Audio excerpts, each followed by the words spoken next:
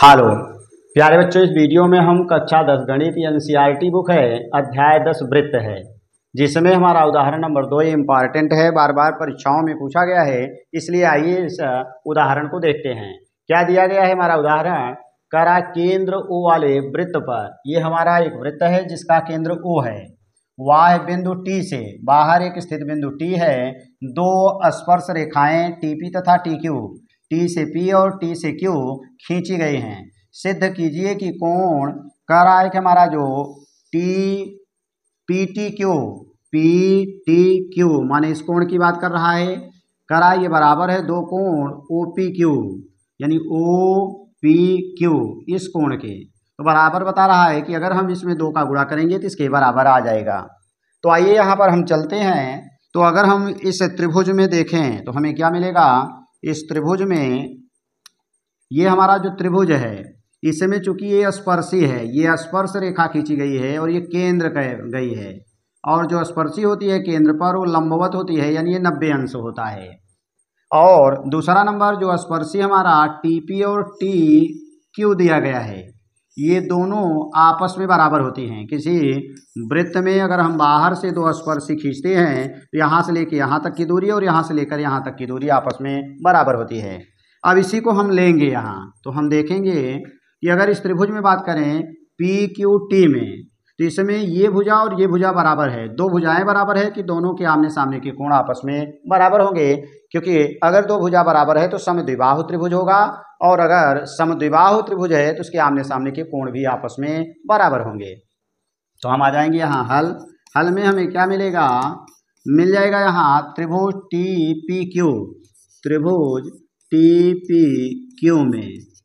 यहाँ हम आ जाएँगे चूँकि चूँकि टी पी तथा टी क्यू स्पर्शी है स्पर्शी है। और चूँकि हम जानते हैं स्पर्शी आपस में बराबर होती है, इसलिए टी पी बराबर टी क्यू होगा। यानी टी से लेकर पी और टी से लेकर क्यू तक आपस में बराबर होंगे। अर्थात ये एक समद्विबाहु त्रिभुज हो गया। इसलिए यानी त्रिभुज टी पी क्यू एक समद्विबाहु समद्विबाहु समद्विबाहु त्रिभुज होगा त्रिभुज होगा। और जब समद्विबाहु त्रिभुज होगा तो इसके सामने का ये कोण ये कोण का मतलब यहाँ से यहाँ तक का कोण। अगर हम इसको यक्ष माने तो ये यक्ष हो जाएगा, और इसके सामने का ये कोण तो ये भी हमारा यक्ष ही होगा। यानी इसलिए हमें मिलेगा कोण टी पी क्यू कोण टी पी क्यू बराबर टी क्यू पी कोण टी क्यू पी और दोनों को हमने एक्स मान लिया। अब आ जाएँगे इस त्रिभुज में। और इस त्रिभुज में तीनों अंत कोणों का युगफल एक सौ अस्सी अंश हो जाएगा। त्रिभुज के नियम से नियम से हमें क्या मिल जाएगा? तीनों कोण जोड़ेंगे टी पी और क्यू तो हमें एक सौ अस्सी अंश मिलेगा। यानी कोण टी प्लस कोण T P Q T P Q कोण एक कोण टी मिला, दूसरा कोण टी पी क्यू मिला और प्लस कोण टी क्यू पी मिल गया। T Q P. और ये बराबर एक सौ अस्सी अंश हो जाएगा। यहाँ कोण टी प्लस ये हमने यक्स माना है टी पी क्यू को।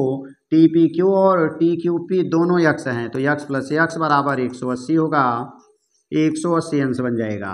यानी कोण टी सॉरी कोण टी तो कोण टी प्लस दो यक्स बराबर होगा एक सौ अस्सी समीकरण नंबर। इसको हम एक बना लेंगे।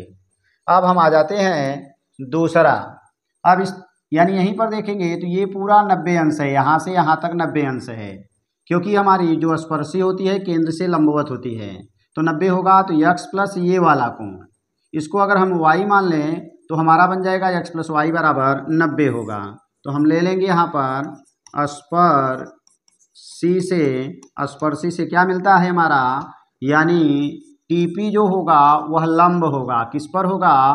ओपी पर। ओपी इसलिए कोण, यानी हमें मिलेगा T P Q T P Q और प्लस कोण O P Q O P Q और ये बराबर हमें नब्बे हो जाएगा। क्योंकि दोनों मिला के हमारा नब्बे बना हुआ है। तो टी पी क्यू को हमने माना है क्या? यहाँ हम देखेंगे टी पी क्यू को हमने यक्स माना है। तो यहाँ हम यक्स रख सकते हैं और कोण ओ पी क्यू और यही हमें लाना था। तो हम यक्स का मान यहाँ से निकाल लेंगे।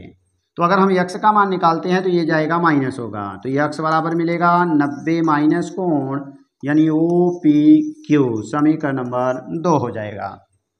अब इस यक्ष के मान को हम समीकरण एक में रखेंगे। तो हम लिखेंगे क्या? आगे आ जाएँगे तो हमारा बन जाएगा इसके आगे यक्ष के मान को समीकरण समीकरण एक में रखने पर, एक में रखने पर। तो समीकरण एक है, कोण टी और प्लस दो यक्ष है और यही बराबर एक सौ अस्सी दिया गया है। तो यहाँ आ जाएँगे कोण टी और ये बराबर मिल जाएगा, ये जाएगा माइनस होगा, एक सौ अस्सी माइनस दो यक्स होगा और एक सौ अस्सी माइनस दो गुड़े यक्स है। यक्स का मान यहाँ से रखेंगे तो नब्बे माइनस कोण ओ पी क्यू बन जाएगा। अब दो का हम अंदर गुड़ा करेंगे तो एक सौ अस्सी माइनस नौ दूनी अठारह, एक सौ अस्सी और माइनस माइनस प्लस हो जाएगा। दो का गुड़ा करेंगे, दो कोण ओ पी क्यू बन जाएगा। तो ये हमारा कैंसिल होगा और कोण टी की अगर हम बात करें तो कोण टी हमारा कौन सा है? पी टी क्यू है। पी टी क्यू यानी कोण टी है। इसको हम लिख सकते हैं कोण पी टी क्यू हमारा बन जाएगा ये कोण पी टी क्यू बराबर हो जाएगा दो कोण ओ पी क्यू और यही हमें सिद्ध करना था।